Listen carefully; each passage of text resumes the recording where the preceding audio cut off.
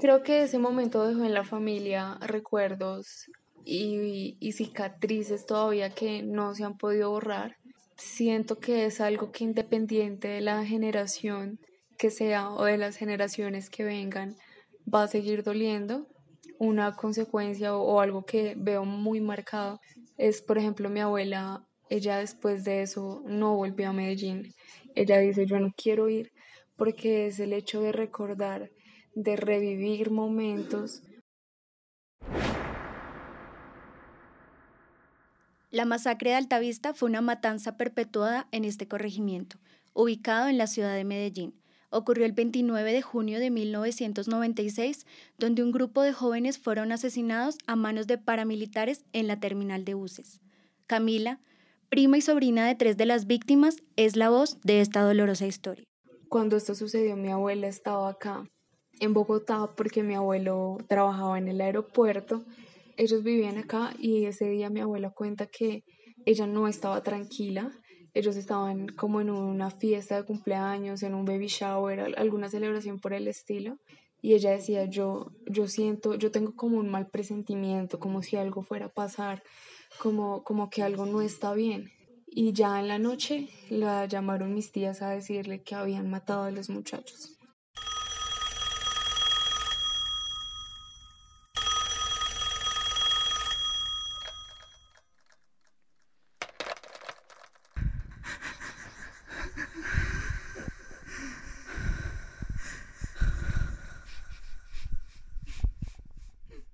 Según todo lo que me cuenta mi familia, ese día fue un sábado y estaban en vísperas pues del puente de San Pedro. Entonces lo que estaban realizando era una celebración porque le, le iban a entregar a este corregimiento una placa polideportiva y ellos solían ponerse bastante contentos cuando les entregaban como alguna conmemoración de este tipo. Tristemente, ese día no fue solamente la masacre de 16 jóvenes, sino que fue también la masacre de tres eh, de mis familiares, los cuales no tuve la oportunidad de conocer, pero siempre que puedo saber algo de ellos intento investigar lo más que pueda. Murió mi tío, mi tío se llamaba Norbey de Jesús Ramírez y dos primos, Johnny y Leandro. El 29 de junio de 1996, aproximadamente 10 hombres que portaban armas de uso privativo de las fuerzas militares y distintivos del cuerpo técnico de la investigación de la Fiscalía CTI llegaron a la terminal de transporte de Belén, Altavista, donde hicieron descender a todos los ocupantes de un bus de servicio público, retuvieron a varias personas que se encontraban en los alrededores y los obligaron a disponerse en fila para luego interrogarlos sobre el paradero de presuntos milicianos que residirían en la zona. Norbey de Jesús Ramírez Dávila, John Alexander Ramírez Luján y Leandro de Jesús Ramírez Vázquez son tres de las 16 víctimas que dejó esta absurda masacre, en la que el Estado se vio involucrado. La historia de Leandro fue algo muy triste porque ese día él estaba cumpliendo 15 años y pensaban celebrarlos en la noche, pero pues tristemente ocurrió todo eso y no fue posible celebrar. Creo que eso fue una de las cosas que más me ha marcado de este suceso.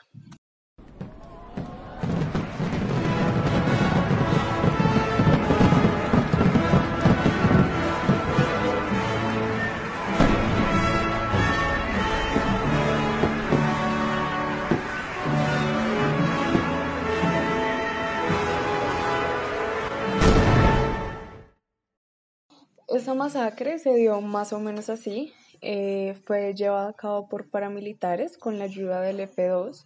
En ese entonces el F2 era como un algo así como lo que hoy en día es la policía, era pues pertenecía al Estado y lo que eh, hacían era básicamente apoyar a los grupos paramilitares con algunas armas, con autos, con ropa, uniformes más que todo. Entonces ellos los ayudaban en ese aspecto pero eh, obviamente obligando a los paramilitares a ejercer acciones como esta masacre. Lo que hicieron básicamente fue cerrar la entrada y la salida, también con ayuda de los policías, para que nadie, ni siquiera los medios, pudieran subir a mirar qué era lo que estaba pasando. todo estaba totalmente cerrado, nadie tenía ingreso, nadie tenía salida. Ellos llegaron aproximadamente a las 8 de la noche a un paradero de buses donde había también un, un salón de billar. En este salón de billar estaban algunos jóvenes que fueron masacrados, pero otros iban a bordo de un bus que paró justo en ese momento. Lo que pasó es que las personas que venían en ese auto, los paramilitares, pararon y ellos obviamente antes de, de, cometer este acto tenían un registro fotográfico que no coincidía con ninguna de las personas que estaban en ese billar ni con ninguna de las personas que iba a bordo de ese bus. Ellos entraron demasiado alterados al salón de billar, empezaron a gritar groserías, empezaron a preguntarles a los jóvenes que estaban allá dónde estaban sus jefes, que empezaron a acusarlos de que ellos eran milicianos y los sacaron. Los sacaron y con luego de haberlos sacado a ellos, sacaron a, a las personas que iban dentro del bus, dentro de ellos mis dos primos y mi, mi tío.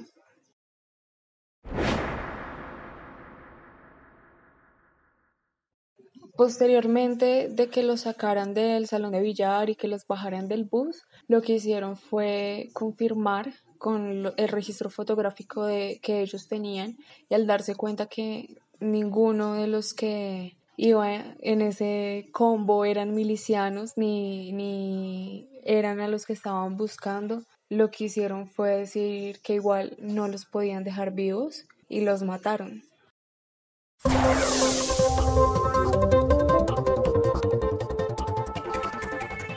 Después de esta masacre, los medios de comunicación aseguraron que los jóvenes eran milicianos y que su muerte era justa.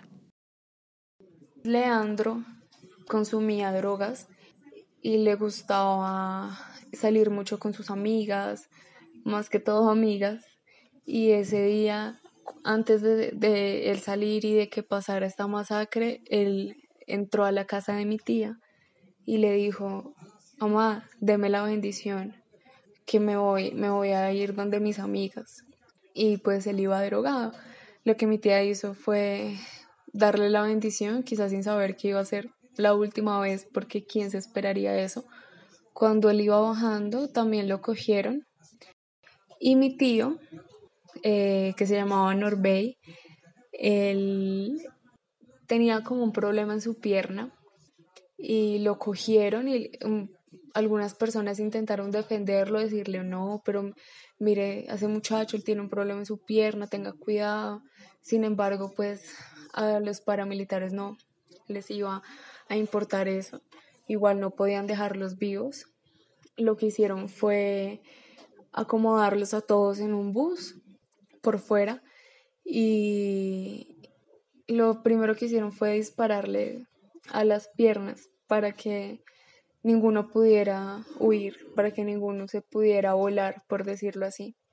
Y ya después, conforme ellos iban cayendo al piso, pues mm, los mataban.